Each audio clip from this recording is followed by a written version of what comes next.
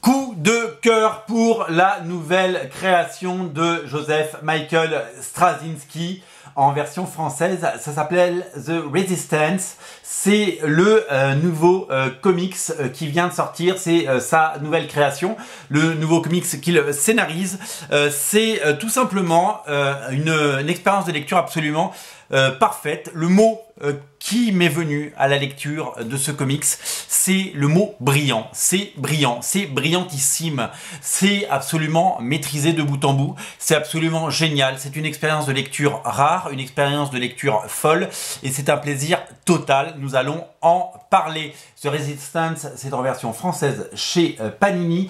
Euh, c'est scénarisé par Joseph Michael Straczynski, dessiné par Mike Deodato Jr. C'est un comics indépendant aux États-Unis, édité par un petit éditeur qui s'appelle Awa Upshot qui va désormais être édité par Panini parce qu'il y a plein d'autres séries qui arrivent. On va en parler. Euh, moi, j'ai découvert Joseph Michael euh, Straczynski à travers une série que j'ai commencé à acheter en version originale. J'ai l'ensemble des 12 numéros. Ça s'appelle Midnight Nation. C'est dessiné par Gary Frank et j'ai absolument adoré chaque épisode. C'était en 2000. J'habitais à Tampa aux États-Unis. J'ai acheté tous les numéros. J'ai été subjugué par l'histoire, par le talent, par le génie de ce scénariste, par le dessin de Gary Frank qui devenait avec cette série un des grands dessinateurs après avoir travaillé sur Hulk, Gen 13 et plein d'autres séries. Et je suis complètement tombé amoureux euh, du travail de euh, son écriture affûtée, précise, son talent tout ce que vous lirez de Straczynski va vous séduire, tout ce que vous lirez de Straczynski euh, va vous émouvoir. Moi, la série Midnight Nation, je l'ai adoré.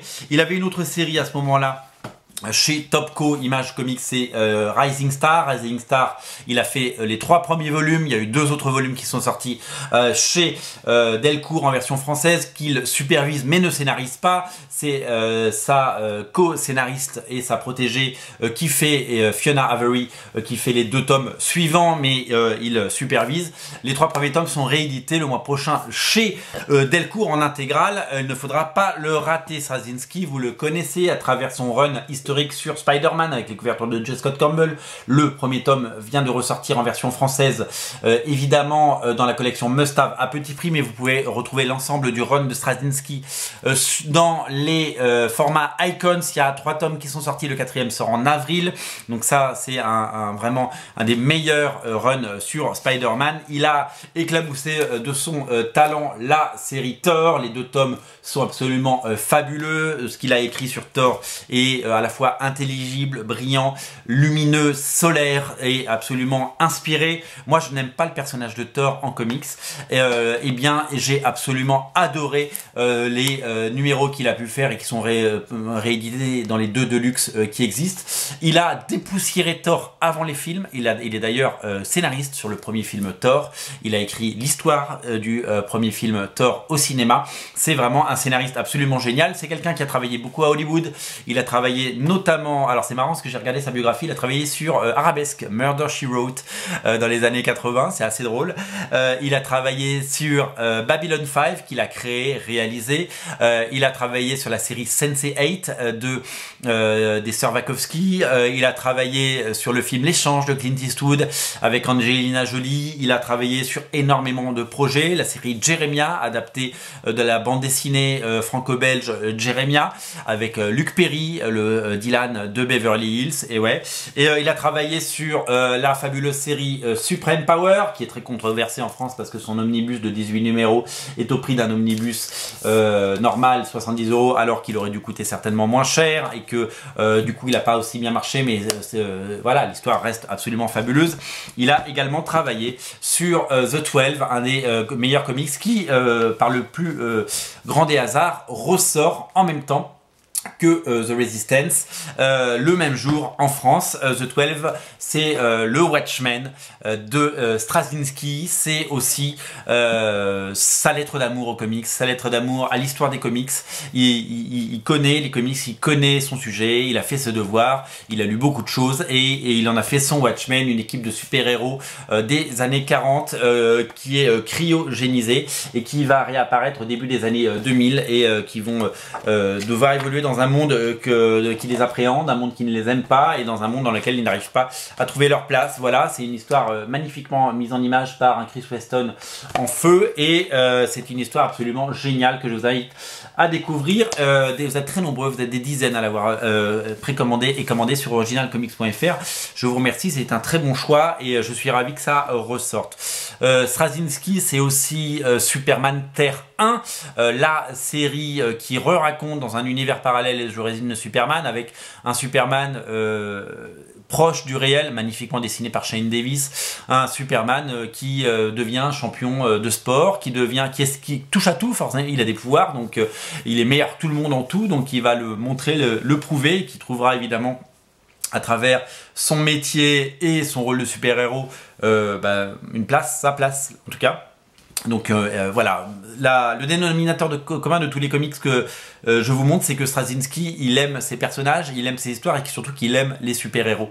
Et il n'a eu de cesse de revisiter le mythe du super-héros dans tout ce qu'il a fait, à la fois dans euh, The 12, euh, bien entendu, dans Spider-Man et Thor pour la partie grand public, dans Rising Star, dans lequel une grande boule de feu apparaissait et faisait naître 113 enfants, 113 super-héros qui allaient devoir vivre dans notre monde et évoluer. C'était la naissance des héros et c'est un thème qu'il revisite dans euh, The Resistance, euh, une série en version française qui vient d'arriver, euh, que j'ai eu le plaisir de relire. J'avais lu les premiers épisodes en version originale il y a pile un an, quand ils sont sortis. Ils sont sortis à l'époque du premier confinement, que ce soit en France ou aux États-Unis. Et voilà que pour le deuxième confinement, le troisième confinement, pardon, ou en tout cas un an après le premier confinement, troisième confinement qui devrait arriver, hein, évidemment, j'ai essayé de faire une petite parenthèse, vous le savez, vous avez vu malheureusement l'actualité eh bien, The Resistance sort. Qu'est-ce que c'est que The Resistance? C'est tout simplement le nouveau comics de super-héros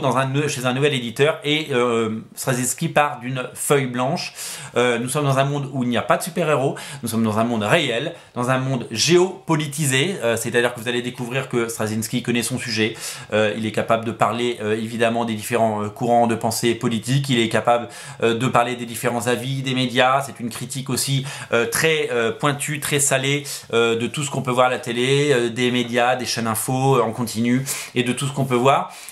et le monde va être confronté à une pandémie. Ce qui est dingue, c'est que ce n'est pas un comics opportuniste. Vous savez, il y a plein de bandes dessinées qui sont sorties suite au Covid, suite pour parler des soignants, pour parler de la pandémie. Il y a eu plein de BD, plein de livres, plein de choses depuis un an. Mais ça, ça, c'est sorti le jour euh, du premier confinement. Et donc, c'est un travail qu'il avait préparé en amont, qui avait été écrit en amont, qui avait été dessiné en amont par son auteur.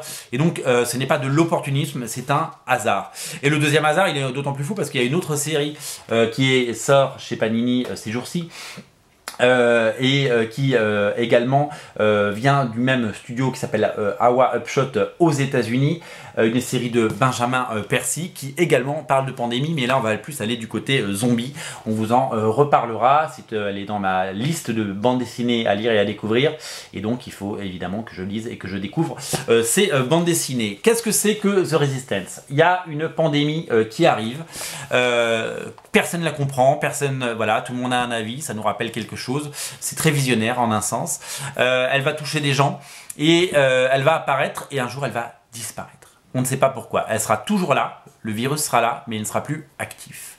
Et euh, cette pandémie va faire 405 millions de morts. C'est absolument gigantesque, c'est vertigineux et c'est absolument fracassant. Et donc le monde est traumatisé, le monde ne sait pas comment réagir face à ça, et ils vont découvrir que les gens qui ont été malades euh, et qui ne sont pas morts vont développer des pouvoirs. Et on ne parle pas, bien entendu, euh, de quelques personnes, on ne parle pas de 113 euh, super-héros, on parle de 10 millions de super-héros. la Terre va devoir euh, vivre, agir et évoluer avec 10 euh, millions de euh, grenades dégoupillées partout dans le monde, avec chacun des façons de penser différentes, avec des gens qui auront des idées extrêmes, avec des gens qui seront des pacifistes, avec des gens qui ne voudront pas de ce pouvoir, et avec des gens qui vont devoir évidemment s'allier avec l'État ou pas, des gens qui devront devoir, comme dans Civil War, devoir faire partie d'un moule, donc être enregistré, des gens qui vont tirer un bénéfice de ça, s'inscrire dans une agence de super-héros pour devenir un super-héros, faire des publicités ou des choses comme ça, devenir des icônes comme le Captain America des années 40 finalement, qui était plus un symbole qu'un héros. Et nous allons devoir évidemment apprendre à les connaître. Alors on va pas découvrir les 10 millions évidemment, nous allons avoir un petit goût et nous allons avoir un petit aperçu euh, de ces héros.